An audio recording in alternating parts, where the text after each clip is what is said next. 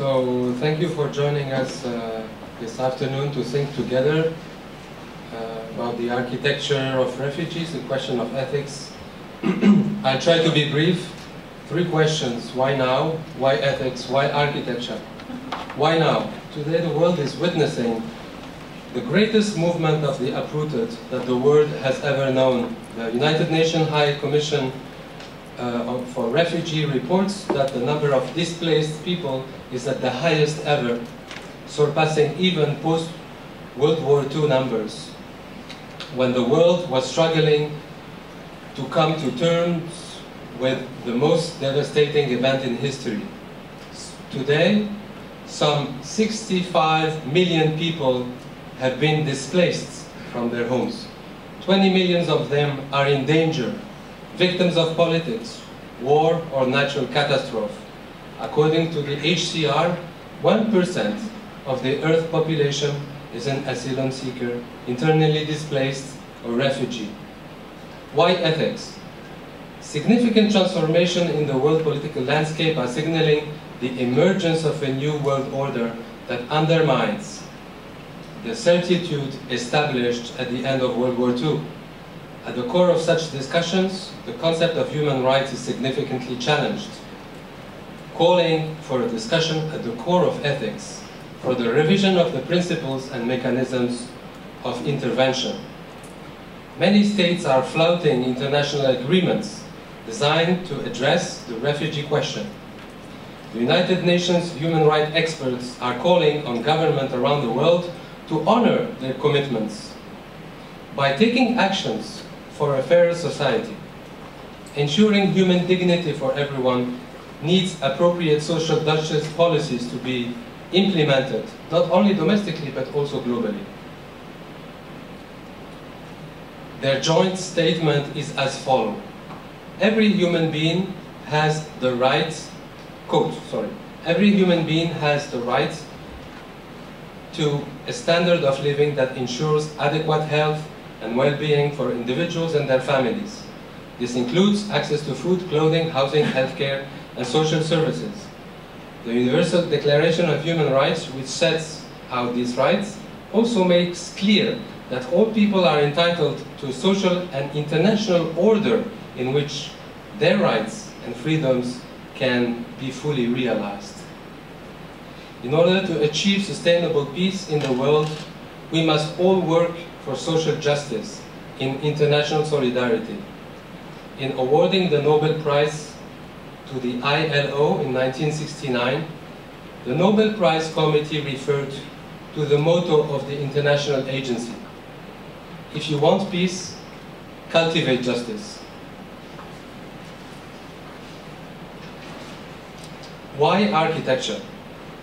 The workshop addresses the agency of architecture and design in a context where the disrespect of human rights is aggravated by the incapacity of global institutions to react efficiently.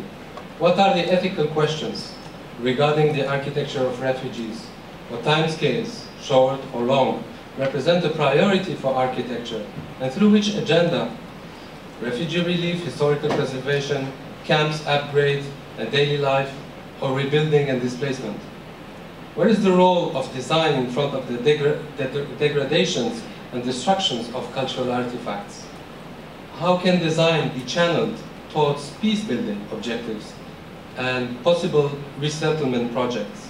What are the material, technological, systemic responses to address emergency needs in the context of refugee camps? So I want to thank all of you for being gathered around this table and I would like to start by one question to all of you guys. The many transformations in the world political landscape have undermined the efforts done at the end of World War II to imagine a set of principles and mechanisms to address issues that engage the responsibility of the world as a community. The creation of the institution of the United Nations in 1945 was an attempt to save succeeding generations from the curse of war, to prevent environmental crises and deterioration, to ensure economic, social, cultural rights to the people. My question is what is your position in relation to the international framework within which we are operating to consider the issue of the global refugee crisis? Is the intergovernment is the intergovernmental organization promoting international cooperation still able to perform its role?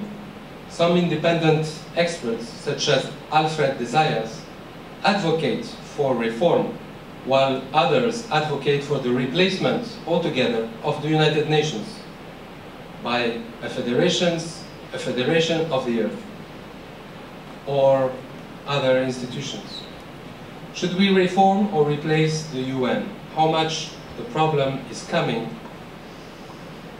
from the existence of an institution that is simply not organized to solve global and supranational problems.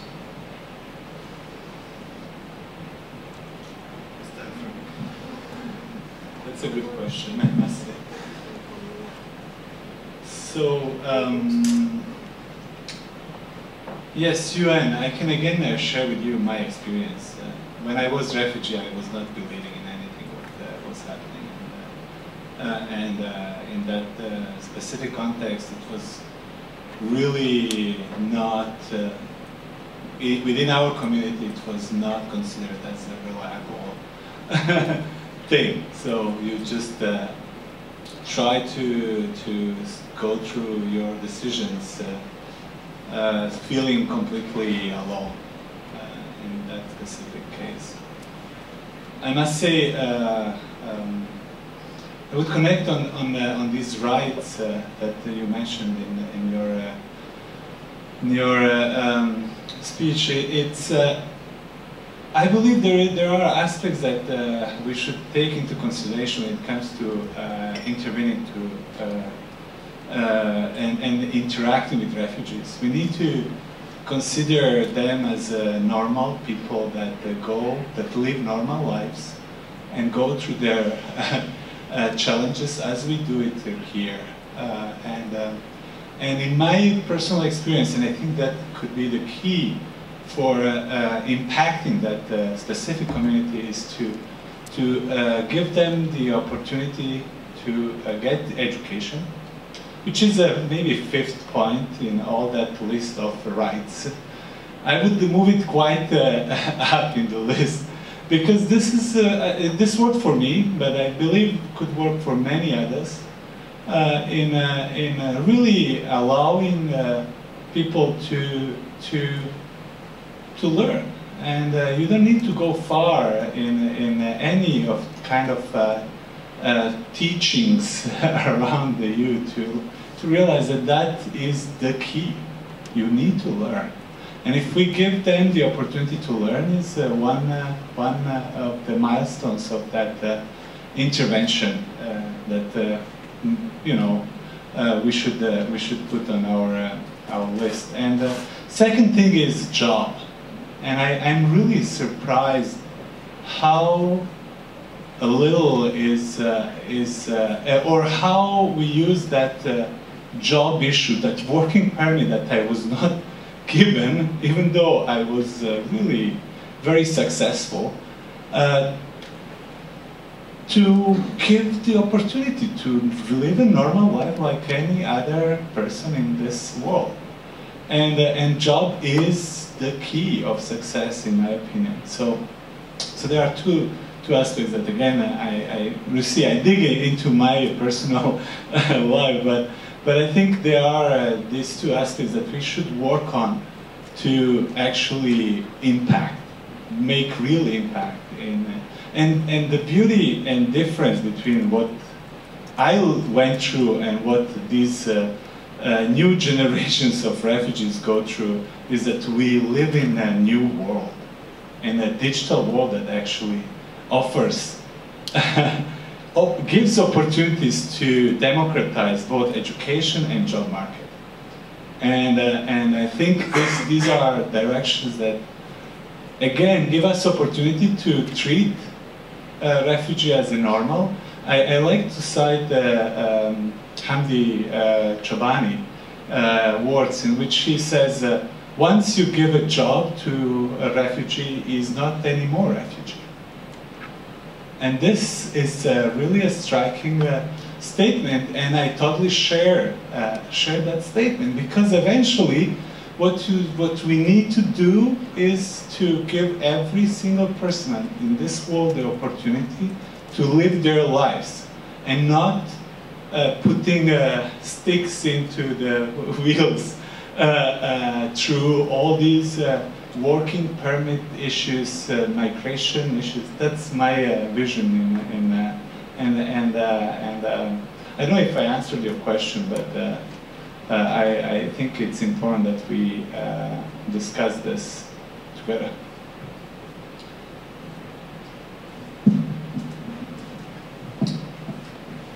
This is a very large question, uh, but something that um, well, those of us who are trained in international law, we um, of course have been sort of uh, both responsible for the crisis with the meltdown of the system that you correctly identified, but also thinking about and imagining alternatives. There have been enough proposals for uh, replacement, for example, the intergovernmental system with other sorts of uh, options. Um, you know, um, if, for example, a framework based on cities uh, or a framework based on uh, direct election of individuals, uh, kind of a world parliament of a sort, uh, doing away with the global coordination entirely, but instead uh, have horizontal networks, actually essentially uh, deterritorialized networks, essentially um, uh, link with each other on a functional basis. There have been all sorts of proposals over the years, but I'm, I'm, I'm, I'm, I remain my feet are kind of on the ground in many ways, and I like to see proposals that might have a plausible way of, you know, working themselves out in the real world. Uh, in the real world, I do think that uh, it's I, I it's very hard to see the entirely uh, the entire disappearance of something called the nation state, and uh, I also think that it might not necessarily be a good idea for something called the nation state to disappear. Um, for a variety of different reasons, um, people who live in particular territories remain committed to uh, identification with their fellow, you know, uh, members based on some sort of identification, uh, based on some imagined past or imagined traditions of uh, some kind, and they actually uh, constitute um, a very powerful pull factor uh, that brings people together. And uh, the structure of uh, rules that we have that impose obligations on countries are built on the relationship between these kinds of communities, self-imagined communities, that uh, constitute themselves as, um, as, as, states. Uh, at least in the near future, I don't see at least uh, alternatives emerging that are robust enough to completely replace the current system, um, what we might end up having, of course, is the simultaneous presence of uh, perhaps many different forms of governance emerging. Um, and here, uh, what I would uh, say, particularly as it comes to um, as it comes to uh, refugees, is uh, there is there needs to be a reinvestment of time and effort into rebuilding the global framework. The reality is that the global frameworks that were established in the 1940s have uh, slowly lost their uh, their you know ability to uh, influence events on the ground and to be effective. And there needs to be more of a reinvestment of effort and time into rebuilding and re-innovating those global institutions. Uh, perhaps, uh, as I referred to earlier during my presentation, if uh, the new global compacts that uh, are going to be adopted, if things go well, on migration and refugees in 2018 are structured, uh, you know, sufficiently, uh, you know, um, engineered sufficiently broadly and effectively, perhaps they might be able to address some of the some of the issues that ultimately lead to refugee flows because um, the, the, the, fact that we need a global organization and a global normative framework for dealing with migration as a whole, not simply refugees, has been uh, known for quite a while.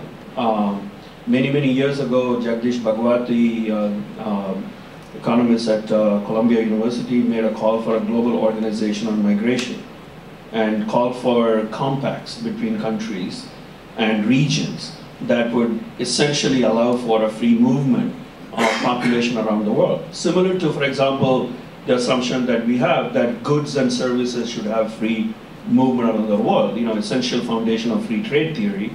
He was essentially making the argument that, you know, we need to think about the movement of, you know, labor and movement of people around the world as a free circulating, you know, commodity, essentially.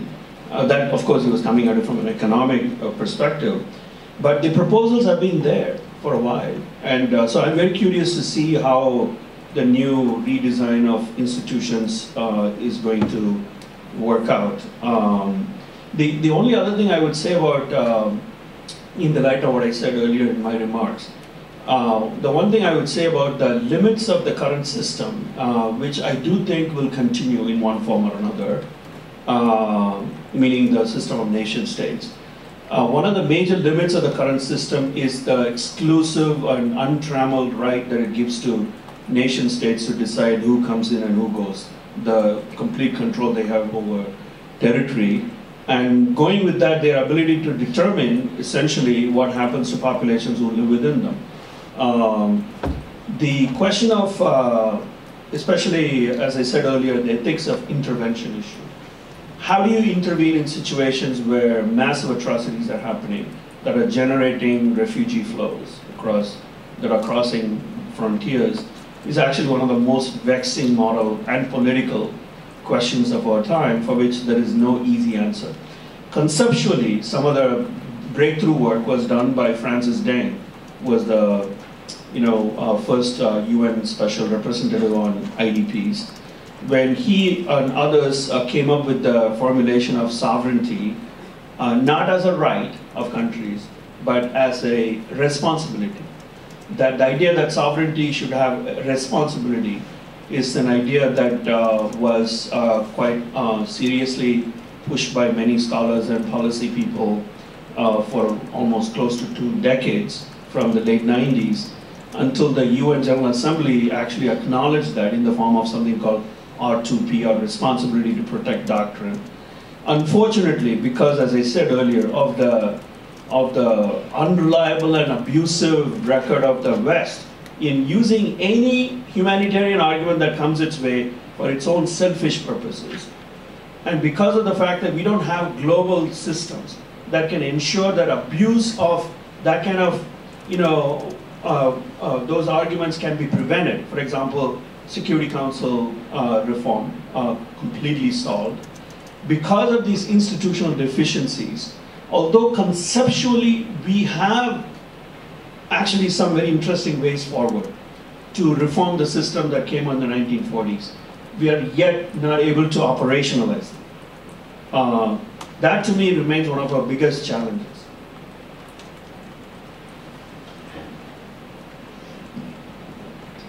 I actually, um, yeah, I actually would like to pick up a little bit on what Raj was saying because I think, I don't know if I'm in the same way that you are to speak to the UN as an institution or even as a lasting one, but perhaps more through the work or understanding a bit um, from of Rwanda on the ground. Um, the critique, for me, is of the dominant or conventional approaches uh, to such issues such as peace building and questioning it, questioning kind of international philosophies or even um, best practices or typical practices when it comes to dealing with either refugees or with post-conflict situations. Um, so in, in the case that I work in, it's, it's the, the, issue of peace building in Rwanda. So the question here is not only the ethics of if we should intervene, it is more fundamentally, I think, uh, or as fundamentally, a question of how we should intervene. And that becomes a true ethical dilemma if we start to question the real foundations or the motivations or even the ethics of peace building as they're commonly understood. So this becomes where I can start, or others can start to mount a critique of orthodoxy, of liberal peace building orthodoxy in this case. So that was the first set of reactions, I suppose, that came um, in, response to the question. Um, and, and, then I think the question also engages a bit um, with this, this uh, distinction or set of debates between uh, a universalist versus a, particular or relativist approach to ethics, right? So there would be a set of uh, philosophers or, or, thinkers who would say that, you know, would start to question fundamentally for whom or what is the universal idea of peace? Right? Or where is that ethics? Who designs, defines the, the ethics from which we operate? For whom does that ethics operate? Um, in what context, in which historical time is, is a particular set of ethics uh, developed? Um, and, and that would be a kind of communitarian, perhaps, approach to understanding a universal view, right? And then the universalists might then contest that and say, well, uh, well particularity or relativism devolves into um, um, a kind of more insular or closed set of ethical standards or moral standards or values, which has its extreme example in Nazism. Um, so this is the typical counterexample between the universalist and the particularist perspective. Um, but then again, we might say, we counter that again by saying, within any one society or historical time or space or place, any one country, any society, we can take and understand that Nazism, bigotry, racism, racism does not exist in a vacuum. There are other dissenters within that society. There's a way to challenge that set of views or values as not morally worthy. Um, so, you know, that's another way of thinking about this. It's a kind of an unending dilemma between a particular point of view and a universal and negotiation, negotiating between those. But perhaps in the end, what's important here is to always question the universal, to question the convention, question the dominant point of view. And one way to start to maybe perhaps do that is to start to connect um, the ethics with the politics, and to have them work with each other. Um, and, and in that case, intervention and how we intervene and the evaluation of that intervention, so what is actually being done and what impacts it has, that's perhaps where we start to feed back into that legal of debates. So it's not just theory, it also has to do with people on the ground.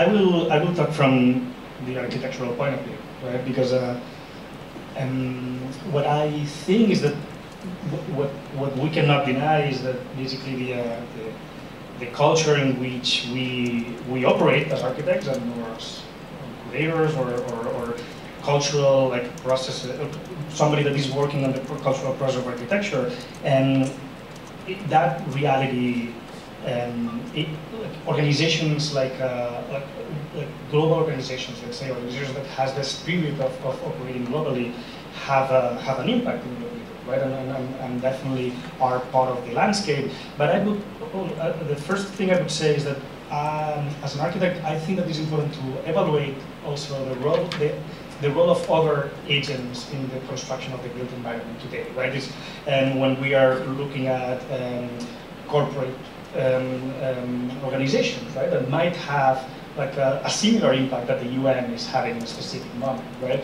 Or we can imagine um, a spe a specific moments of exception, right, in which uh, the uh, normative like um, processes of, of negotiation of, of sovereignty are uh, being suspended. You know? For example, I'm, I'm thinking now of, of Keller work on extra state craft, right? And how actually elements that are above the state are actually modifying certain certain regulations and certain operations that affect our built environment. And by, by, by saying that affect the built environment, uh, I'm referring that uh, it, it, affects the migration processes, right? If, if, there is something that is accelerating and, and uh, operating in our daily lives, not only in specific groups that we can um, indicate as refugees, we are all like uh, in a certain level connected and affecting and affected by transit, right, and migration. So, so I think that the uh, the first thing I would say is that, that that combination of yes, the UN might be one of the agents, but we, we should,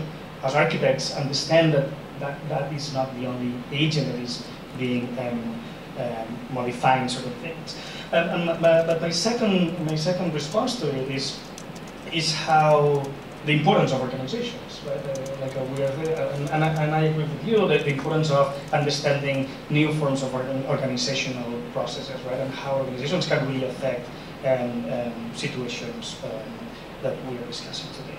And, and, and, in that sense, I would refer back to, to, the to the project of the embassy as something that was an organization produced in a specific moment with, an, with, a, with not a, with a state behind and uh, with a specific agency and with the with the capacity to find a breach in the system in order to operate. Right. So I think that uh, what what um, in the in the understanding of what is the role of the UN or the role of these kind of organizations, we have to rethink new forms of agency that can be produced with organizational systems or, or co construction of community that are not following the same systems that that, um, that we have known in, in, previous in previous cases or in bigger, bigger, bigger examples.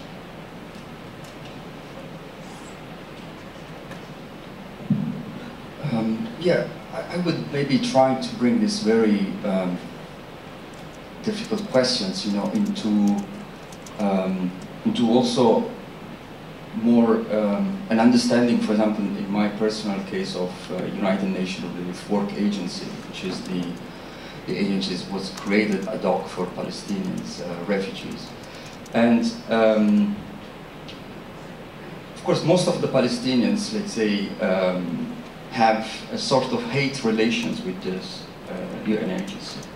So. In, in one way, of course, is the agency that perpetuated, you know, in some form makes sustainable uh, their refugeehood, you know, and the fact that uh, doesn't have any political mandate, you know, it perpetuates this sort of humanitarian uh, dimensions. At the same time, if you say that you are going to dismantle UNRWA today, they say no.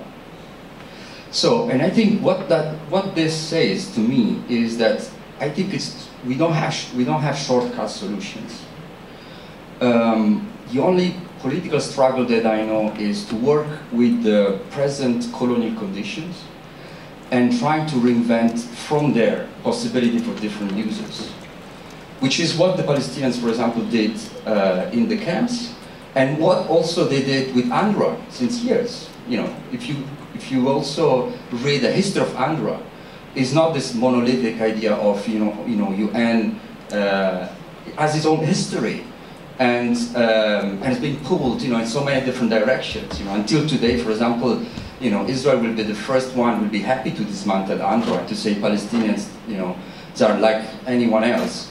Um, so I think we, yeah, it's it's good to be careful, you know, in, in, in trying to to understand how we get out from the situations which we all feel we are trapped into this idea of a nation state that most of the people, I would say, would agree that doesn't work. So some people say you know, we can reform. Some people we have to think everything. Um, I would, you know, more modestly in the way how we uh, we approach that. Also, in, I will talk more from an architectural perspective, so I will not get lost. Is um, is how we reuse, for example, the uh, uh, the World Heritage UNESCO of UNESCO, for example. So we were very much interested on the history of refugee camp. And we could have made, you know, that claim to be, you know, the importance of this, of that. But we said, why don't we actually really build the evidence and make a case using the, uh, the application format that UNESCO is providing, you know, in order for state, by the way, only state can nominate World Heritage Site. I mean, I don't think we have, you know, criticizing that it's so easy. You know? I mean, how you can have a universal claim when then it's the only nation state can nominate what everybody of the universe should agree that that is actually a World Heritage Site. It's such an easy critique, I think it's, we cannot stop there. I think our task is actually how to use that structure, you know, to, uh, to be worked in a way that both is practically effective. At the same time, it leads us to a different place. And the way how this was done, I mean, in our case it worked, it was in some way accepting that that, as if you have to accept that you inhabit a colonial building. And the history of decolonization is such an interesting history that, you know, we know very little, or at least, you know, the West know very little about it, that could give so many important lessons in the way how you use a structure that was built with certain aims, and you turn it on its head for different aims, you know, with all the difficulties, of course, of doing that operation, and there is no easy solution for that. But in this case, for us, was a way to mobilize a different understanding of what constitutes heritage, that this discussion is to happen, and more importantly, you know, who has the right to say that is heritage or not? You know, I would challenge to say that why an old city, let's say in, uh, in a place, you know, is more important than the Dheisheh refugee camp with its history of 70 years old, which is inscribed in its urban fabric and can be narrated and, and you know, can make, and has a relevance for the world. It's not just a relevance for the nation itself. And I think when we start to look at these strategies, I would say we already realize that we are beyond the nation states because there are so many people already live, you know, I think they already live, you know, in a conditions that is beyond the nation state. And what is today, I mean, do we really believe that the Middle East will go back into a nation state? I don't think so. It, will, these boxes will not, you know, it, it's, it's very painful because, you know, we know how it's painful not to be a citizen, you know, not to be covered by this nation state. But, you know, it would be also very, I think, similarly, you know, it's, it's very, it's an illusion to think that the Middle East, you know, you get Syria back again, and you get Iraq back again, you know, Lebanon maybe was never really a state. Uh, you know, what is Israel? Is a nation state? Where is its territory? You know, that, for example, if you look carefully that area, you understand that we use, again, you know, a way to understand things that actually, they don't already fit the reality because the majority of the Palestinians, they don't live in, you know, they're already all uh, carrying different nationalities. So they are de facto already living beyond this nation state, of course, paying heavy consequences of that. But to me, is what we can learn from that condition in order then to build something different than then trying to fix back something that will never go back.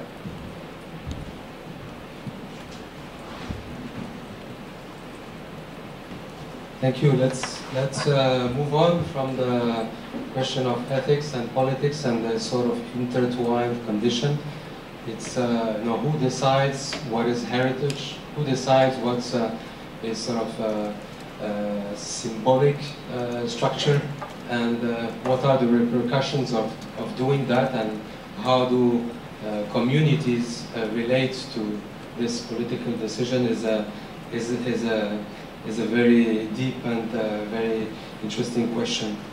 I would like to move on from this sort of question about frameworks to a question about uh, intervention and transformation. Uh, so in relation to the pro process of reconstruction of a community after war, after a traumatic event, uh, how, uh, how is it possible to imagine that they are on the ground conflicting forces that will try to build a sort of consensual space. Uh, are, uh, my, my question is maybe to Delia, Alessandro, and maybe Admir, uh, how do you start with conflicting forces on the ground and, and wish and have the wish to build a collective, a collective space?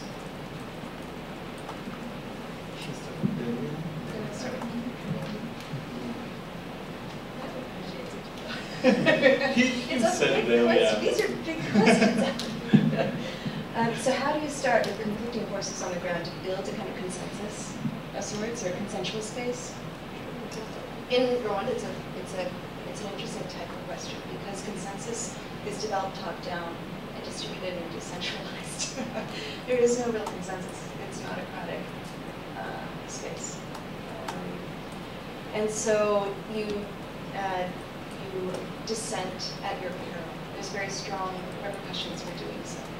Uh, so in a way, I think a lot of my work in Rwanda is focused on finding small places, small utterances, uh, even that are not vocalized, because perhaps that's more that's stronger. But oftentimes, as understood through the built environment, as a form of resistance, as a form of difference, as an articulation of affiliation with the government policy or an, agreement at the same time, but I'd rather do it this way. You know, so an example here would be you know, any number of the model villages, I mentioned briefly one of them, um, where the government has a very clear idea, a gridded settlement with very rational principles of equal space, equally spaced houses with uniform design, um, in, placed in a tabula rasa, and everyone must come to resettle. But when you do that, when you, operate on a model of consensus and you don't listen to difference in communities in which uh, are being cobbled together by the resettlement, then you miss the different histories and experiences of the individuals and the families that are being brought together. And you miss the opportunities uh, to try and foster forms of reality, neighborliness, etc. And you end up antagonizing a lot of tensions. I'm speaking a bit in generalities, I don't have time here to go into all the specifics, but I, I suppose the idea here is to find ways to listen to to allow conflict to be read, um, and also to find ways to, to think about forming community that are not just somehow talked about. First um,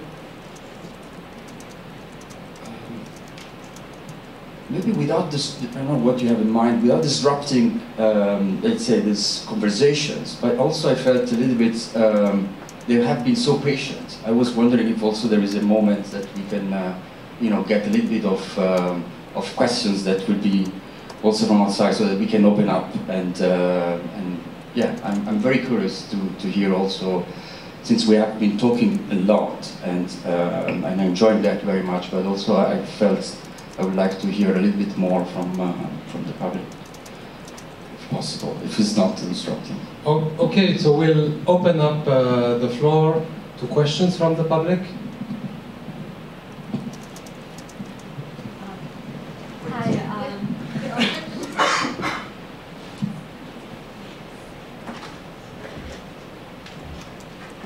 Hi, um, thank you so much for um, the wonderful presentations and just having a space here to talk about these very, very large and complex questions. Um, I wanted to just further complicate it um, by asking about, we're talking about ethics, but it's a little confusing for me because the question of ethics is always associated with the question of who is the so-called agent, you know, to whom this ethical framework should apply. We've talked about international institutions, international legal uh, frameworks, but um, we're, and we've talked about, of course, the role of architects and people who are producing spaces. But um, as I understand it, uh, refugees are big business as well. There's a whole industry that has been developed over the last few decades um, around serving the needs of refugees and of internally displaced people in urban and rural areas. These refugee camps have huge supply chains associated with them huge development actors, and many of us here in academia are also in the business of both representing, creating knowledge about, and you know, responding to the needs and crises of various disasters or um, wars they, as they come up in the last few decades. Um, and this is a recurrent thing. So I'm just curious from, you know, just if each of you could take just like one or two minutes to reflect on this question of ethical praxis as an individual and where you see some of the challenges of negotiating the, the, unethical dimensions of the various actors who are at play and who have an interest in both perpetuating the problem because it makes them money um, uh, or creates opportunities to create write books about it um, and you know where in your own personal practice you find some kind of um, still space to operate and address these concerns.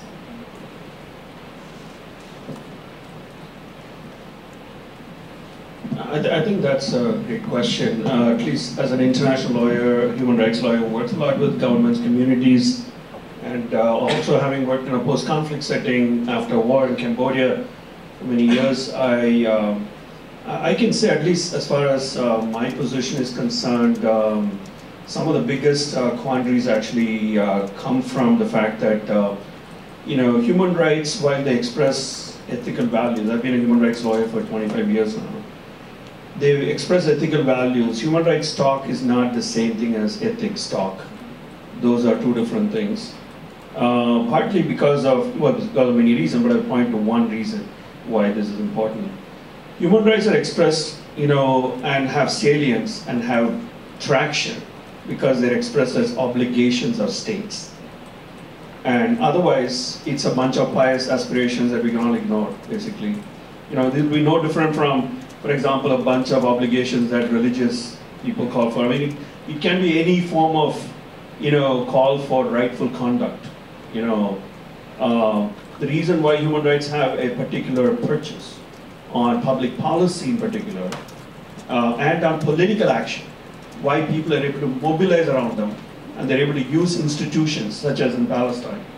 Constantly there's a reliance on human rights. Why? Because of the link with law, and that link with law provides a link with state. While that's its strength, I've always felt that in my practice it's also its main weakness. Because it limits us to the boundaries and the frameworks that are implied by our very reliance on the state. To be committed to the idea that we have to realize ethics through rights talk also actually restricts you to the range of possibilities implied in that the, the mechanism called the state. You're over reliant on it, and it's not possible to escape it beyond a point. So, so what people like me have tried to do is to strategize about how to keep the state while trying to sort of weaken some of its worst impulses in one way or the other. Or how to find strategic opportunities to, for example, seep some of the resistance from non-state spaces, such as by social movements or others, into the spaces that are traditionally occupied by state-led elites. How do we actually disrupt that? And that's actually one that can be done only by practice. I think that's, to me, one of the big challenges.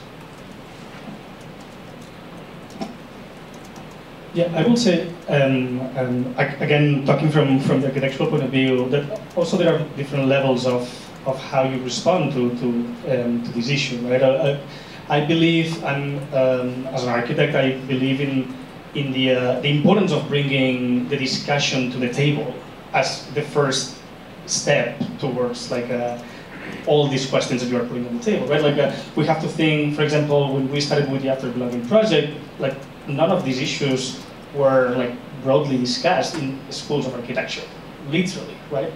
No, no, there, are examples of certain practices that have been developing and these kind of discussions, but as a general understanding of what architecture was, was no like discussion whatsoever about human rights or um, the importance of understanding migration as part of what you need to deal with as an architect. Right? So I think that like a, there are like a different reactions of how your practice operates and different levels of, of operation.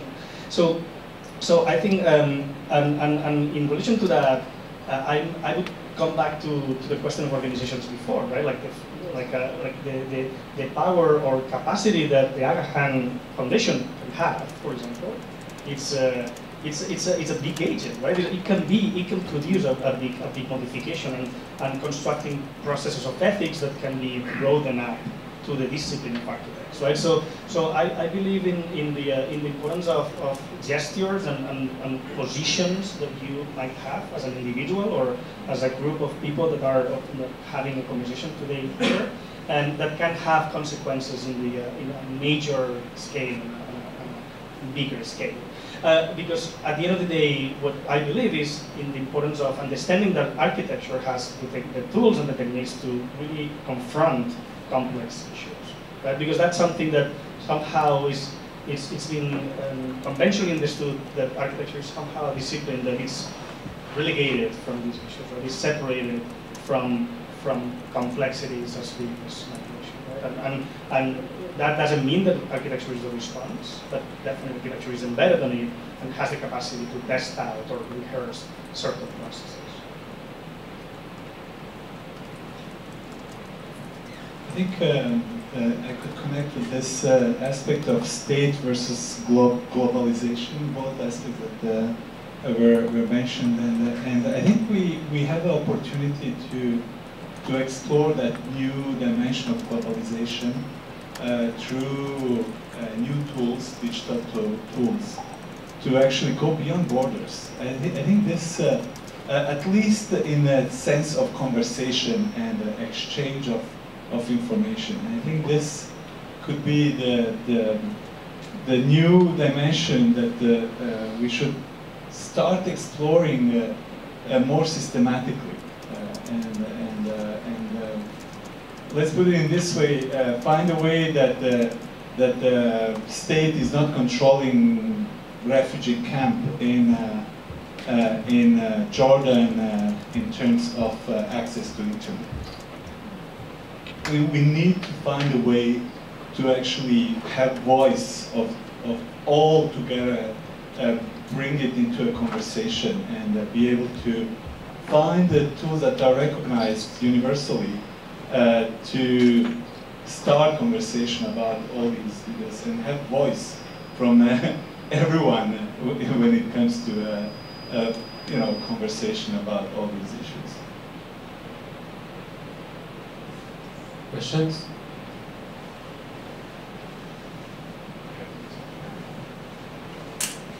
Uh, thank you so much for great presentations. Uh, I think we've been talking a lot about nations, nation states. There's an interesting tension if we if we let go, if we move past the nation, nation state, are we letting that scale of governance, of ability to act off the hook?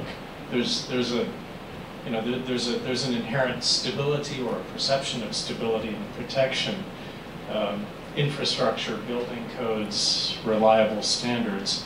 As we, if we increasingly move towards impermanence, informality, incrementality, fluidity, what do we what do we gain and what do we lose? Simple question. yeah. Uh, if I can uh, just uh, comment on this, I think it's a natural way of, uh, uh, of uh, what we observe in, in economy or any other field where technology is in, impacting seriously our, our Italian mafia taxi network that is completely upset by Uber, okay? So, so what, what I think is, uh, is really the, the opportunity to bring this conversation uh, into a new dimension, new space, that again uh, will be defined altogether, but, uh, but will give us the opportunity to, to go beyond these obstacles that I lived seriously through all my steps from refugee camp to MIT professorship here. Um, and I think, again, uh, uh, it's a new dimension that uh, is, again, upsetting uh, Italian taxi drivers uh, uh, and could upset many people, but actually, maybe when it comes to ethics, is, is a new dimension that would bring us into uh, unexplored territories and also opportunities to make this world better when it comes to 65 million refugees that are right now living in those camps. Well, in the interest of time, getting more questions, uh, I think uh, I should just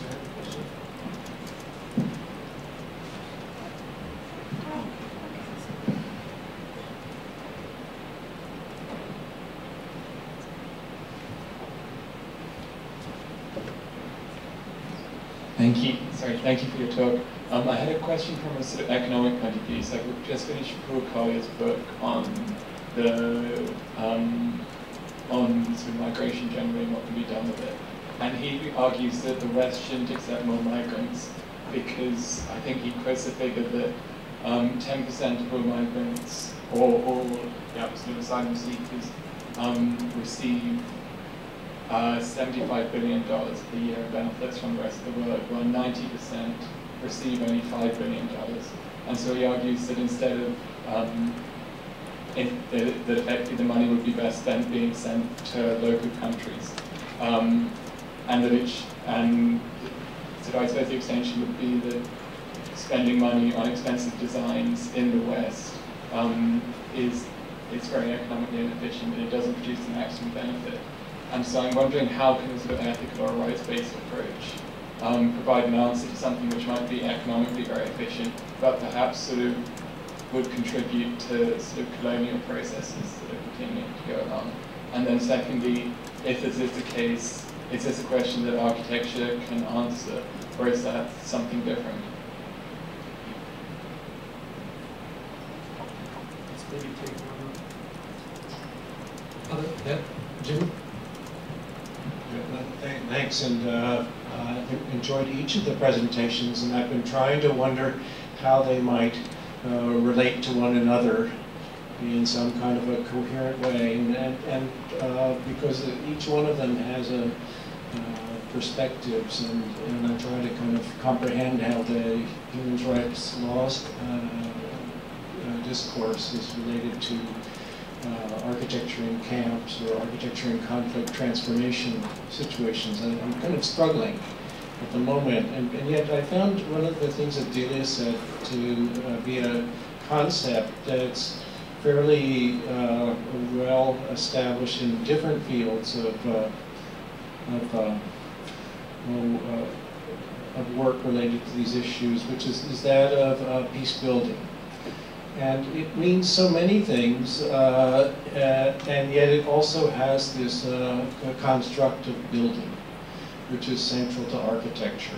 And I haven't seen an architectural development of the concept of peace building that relates to the field that uh, the, the people in the conflict uh, and peace studies movement do in peace building. I think there's a lot of potential here, and I'm curious what to hear what the panel thinks. Thanks.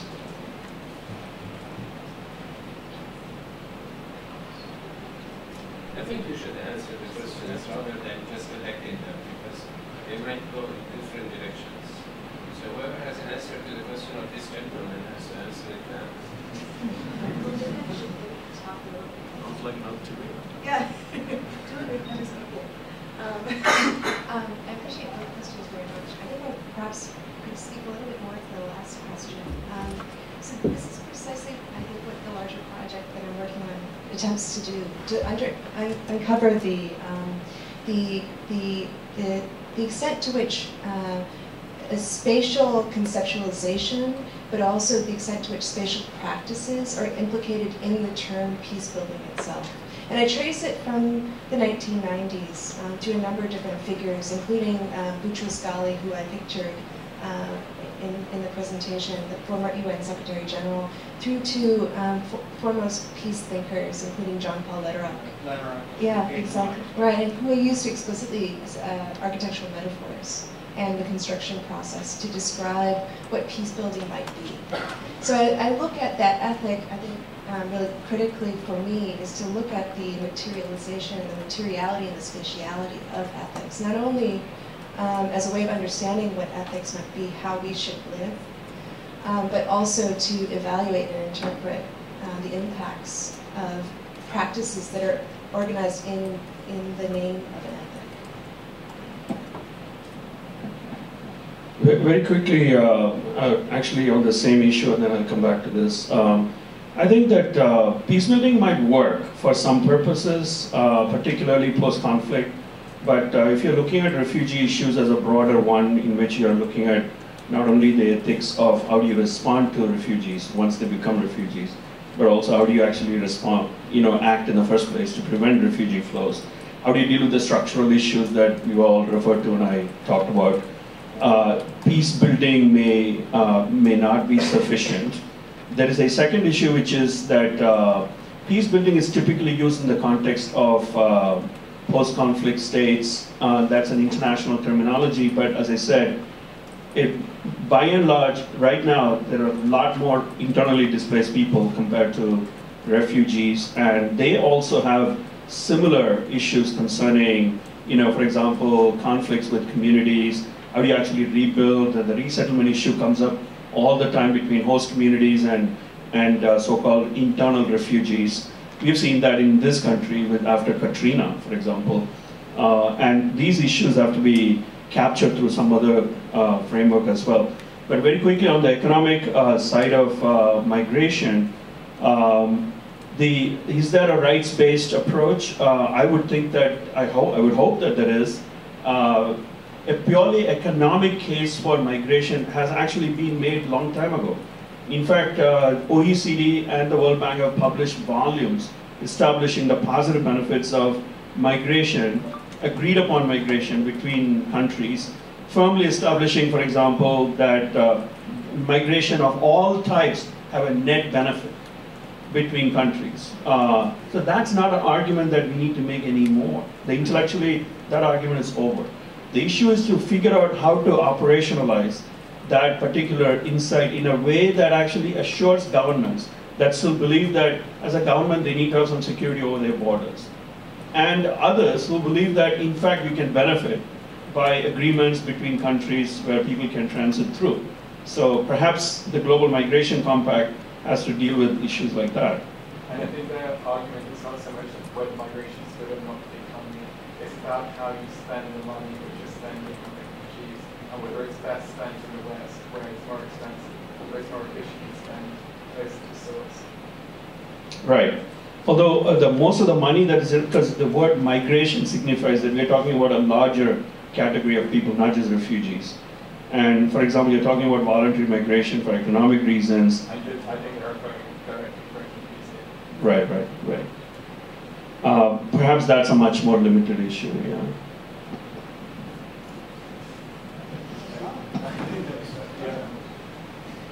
Um, maybe, I don't know, maybe picking up from this very last um, discussion, also trying to challenge the idea that um, this is also part of this peace building and military intervention, you know, to say we have to spend money there because, you know, so they do not come here.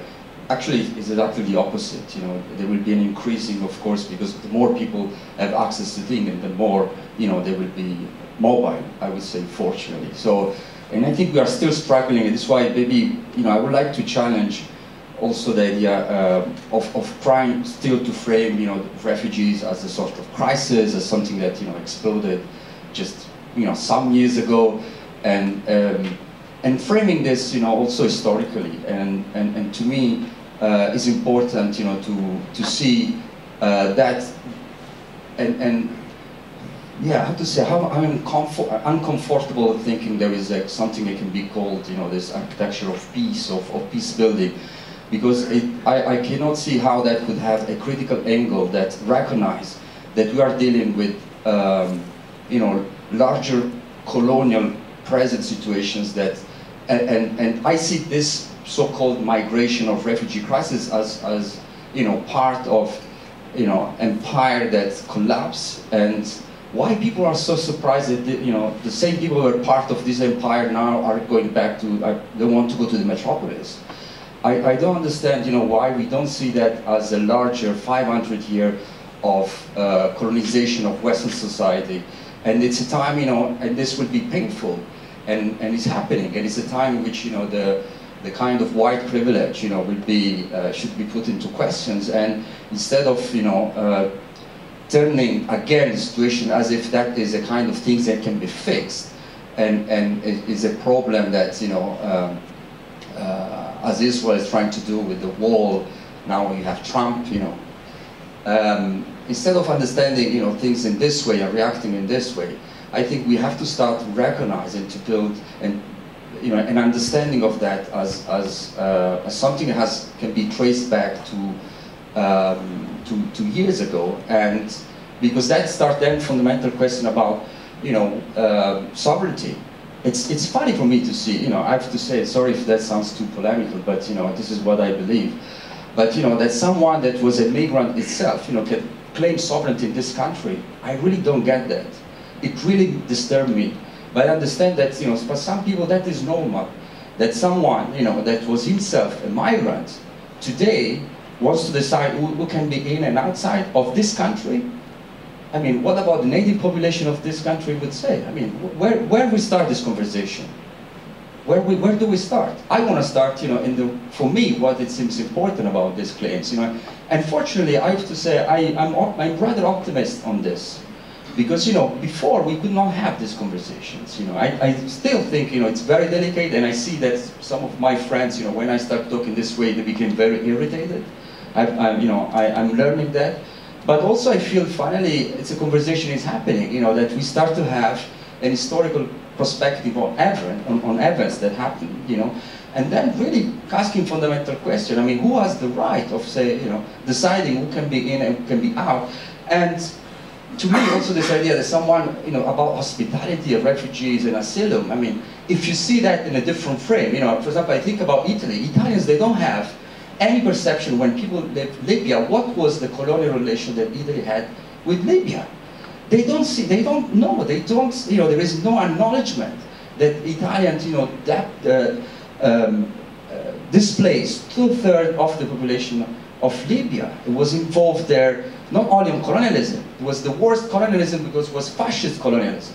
So they invented camps, you know, they, they used the Italian words to describe the, the, the way in which you, you fence places. Why? Because that's what you know, Italy brought. And now if they see a so-called migrant living a boat from Italy, they don't put this in that colonial conditions that, you know, made Italy what is it today. So I think that is to me a conversation needs to happen.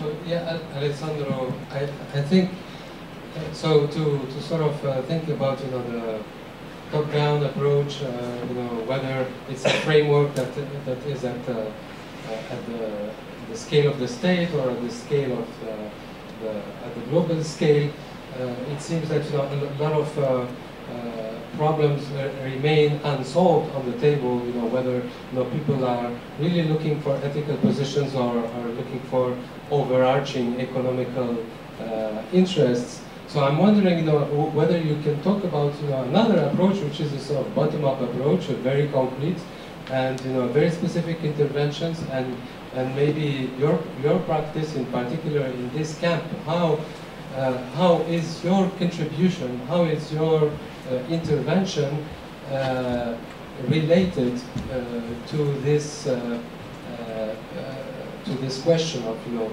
building a possible future within a camp that is already a kind of territorial uh, aberration. What, what, what I mean is, eh, how, how, how do you how can you, you know, how through your practice, you, are you able to both uh, have a, a, critical position, uh, but at the same time provide a space for people. And you know, how can there is a sort of paradox there uh, that that I, I, totally understand that you know you, you sort of uh, uh, you know try to work out this paradox, but I'd like to hear a little more a little bit more about you know what is this school for and you know, what's the general framework and what's the future of that school and is that the correct uh, the correct response? Yeah. Without this sounds, it's also a very big question, so I'm not sure I have the answer for these questions, but um, let's say something that it, it really, um, let's say was something that helped us to, to guide, you know, these processes that, by the way, are always very compromised from the very beginning, you know, and this is why I said, you know, it was important, I was interested to come here today, because, you know, and going back also to the ethical questions, I think no one could claim uh, in the moment you decide to step in in a situations, you know, that you are, um, uh, you know, in a kind of um, positions, you know, which you will not make mistake, or actually you are contributing. You know, that is all the dilemma of all these NGO organizations. You know, how much they are perpetuating certain situation, but also how much is trying to challenge. So, first of all, it's a very, very compromised situations uh, where actually the ethical questions are very important, you know, are very important, you know, how much, why, uh, there is moment, and this also, seems to me, that fortunately is changing, you know, how also among architects, finally, you know, they start to say no, you know, imagine in our professions as architects, we only say yes, and we have even architects say the yes architecture of, of things like that, you know, it's obscene. You know, in other profession, it's so clear that you, you actually you, you questions the things that you are, uh, you know, doing. And I hope that one day, you know, there will be a, a tribunal for, for a court for people that participate to these crimes. You know, and they should go to jail, not because they just have you know, a project in that country, it was an occasion for that. I think this has to do in the way also how we, uh, there is a process that has to happen, you know, in the way how we frame problems. And for me, one of the key words is definitely the words of decolonizations, because that not, is not just, you know, the struggle of the 60s, people getting rid of the colonial empire, but it was also about, you know, how the white society are still framing things, you know, and we are still participating, in understanding problems using the same colonial framework. I think that is something different, that this word today, in that specific situations, I want to understand the refugees transgressing borders as a fight for decolonization that is not happening now anymore in the uh, Casbah of Algeria. is actually happening on the border and the Mediterranean. That is where it's happening. I only can see that. That for me gives me a different perspective the way how I can work instead of, you know, at the best having this bad intention to say, you know, we have to asylum and all this hospitality. What hospitality? That is a right, you know. With all what Europe did and never paid for this, I mean, that would be the, the you know, the minimum that, that, that, that needs to happen, you know, in that sense. So I think, and this is a work that in an academia setting, for example, you know, this is a discussion that, uh, that we have to have.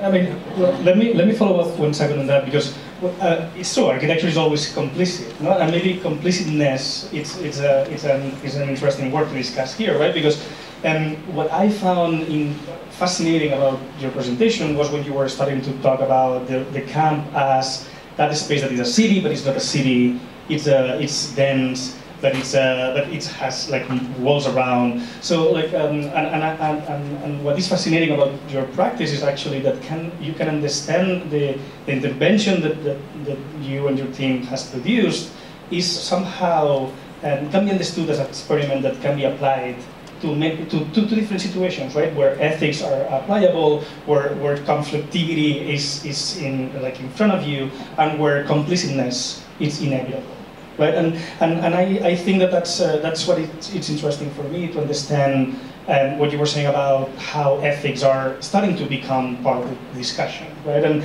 uh, because suddenly, like all these elements that you have, you needed to discuss and you needed to have because it was like uh, necessary almost. Um, becomes almost like a model, right? So I think that for me, that is where the, the practices like yours can become like a certain constructing certain models of operations that of course like uh, inevitably will have to be modified and, and, and tested out etc etc but but I feel that when, when we're talking about ethics it, they, they don't go beyond the fact of looking at specific practices that have been operating with complicitness or inevitably negotiating complicitness and looking how that can be operative elsewhere. All right, so one last question and then we, have, we are out of time.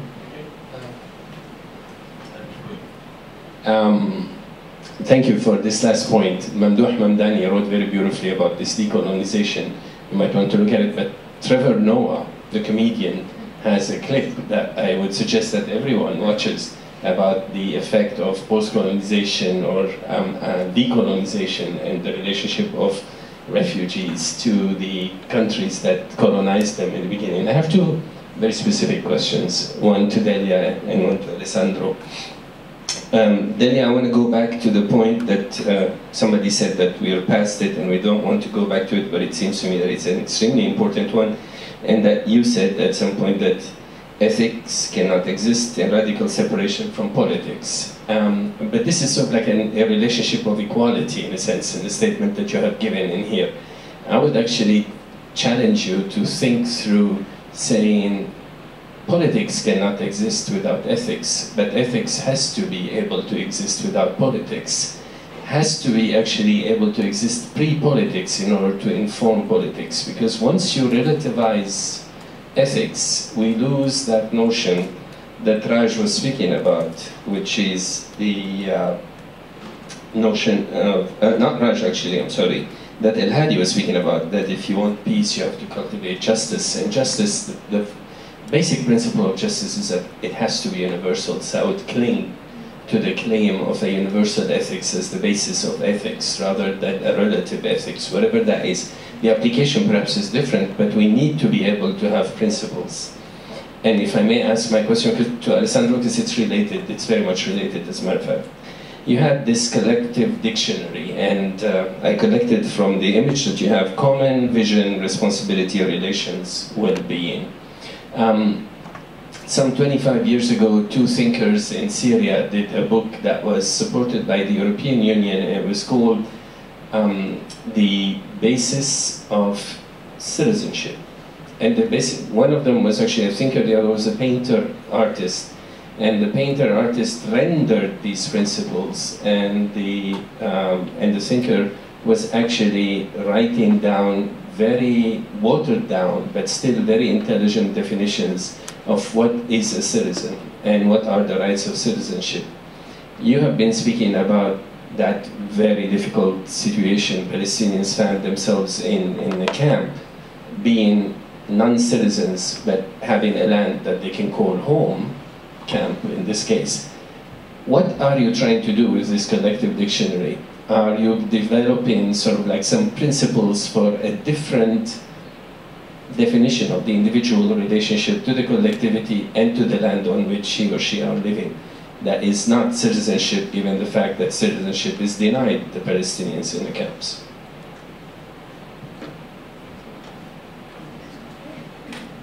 Um, no, thank you for your question, and I appreciate that very much. It's something that is a central conflict to the work that I'm engaging with, and I think a lot of our work as well, as we encounter these different cir different circumstances and situations in which we have um, some severe ethical challenges and that require political solutions, but also also a kind of return to a set of principles that might guide through um, political obstacles.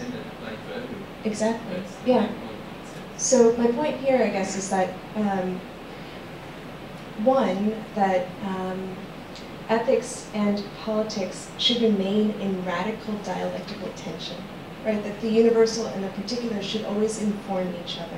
And so that's why I at first say that they should be not radically considered That's separated. much better phrasing than the one that I was going They should be in radical dialectical tension. In the same way that we could start to question um, who defines the universal, for whom and at whose cost, right? And in, in that sense, the particular is always informing the universal, but also the universal is also informing the particular and holding the particular to account. Particular sets of values within a particular society, let's say, that would seem to, to diverge from what we might consider to be know, ethical or morally permissible. Uh, so I, I, consider them in radical tension um, in that sense. Um, I'll leave it there. There were other parts of this conversation, but I want to leave Alessandro some time to, to talk. Okay? Um, so very quickly, um, what is a collective dictionary? I say four fundamental things. Um, and maybe some of them are also changing, you know, with time because it was a, such an incredible uh, work that, you know, I, think I'm, I'm still reflecting on.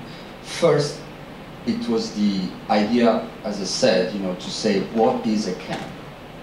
Because, you know, we don't know what is a camp.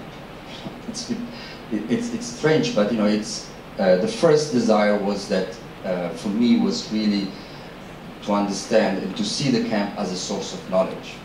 Uh, not to say this is like just garbage, these are just marginalized, you know, this is just humanitarianism, we know all of that. You know, I, I think we, we have to accept that uh, these are incredible uh, place in which knowledge is, uh, is produced, and I would say also political structures.